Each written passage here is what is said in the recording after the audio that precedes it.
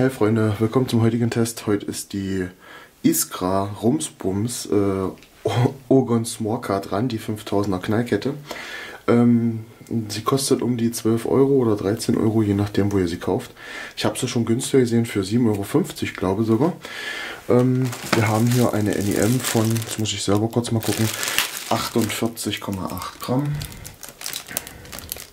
Spiegelt ein bisschen, kann man das lesen. Da ist es, genau. Ist ein F3-Artikel wegen dem Blitzknallsatz, der enthalten ist. Und ja, dann würde ich sagen, gehen wir gleich raus zur Zündung.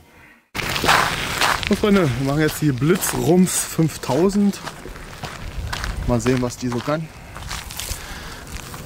Und na denn, viel Spaß.